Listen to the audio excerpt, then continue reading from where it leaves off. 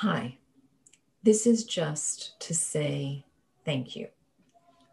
Thank you for being in this class. Uh, I know that the work has been really hard, and I know that sometimes it's been aggravating or confusing, but being together, doing this work together, having conversations, text messaging, seeing you every week um, this has really been so meaningful and so important and so encouraging for me during this really hard time. And um, I appreciate you being in the class with me and being patient with me.